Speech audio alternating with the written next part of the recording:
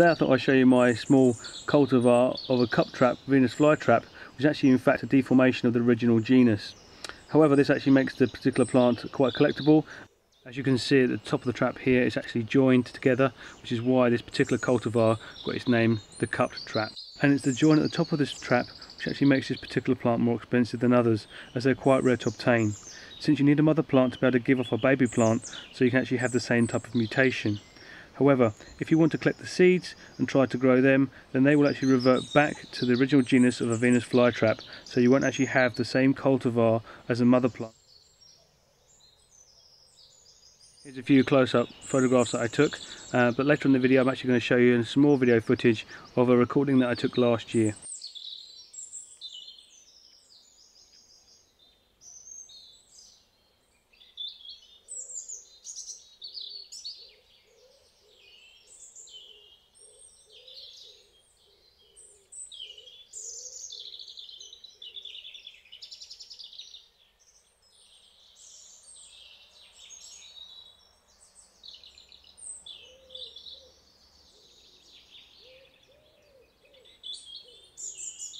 This is the same plant, however this video was taken after recent dormancy unlike the one in the first part of this video whereby it actually missed one dormancy and now is looking rather weak so it must be put into dormancy this year else it will die the following year.